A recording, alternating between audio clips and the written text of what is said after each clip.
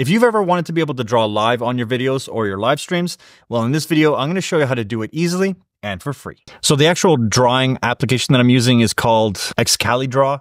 It's a free app that you can use on your browser, and it's actually really cool where you can just draw a whole bunch of stuff but also lets you easily erase that kind of stuff just by hovering it over. So how do we get this onto live video?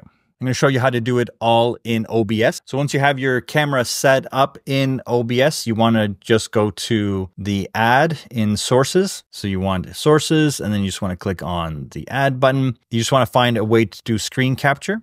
So you click that, click OK, and then you don't want to do a display capture. You can, but I'm going to do application capture. And then I'm going to go to Safari or whatever browser you're using and you click OK. You can actually type in a green screen code here, a color.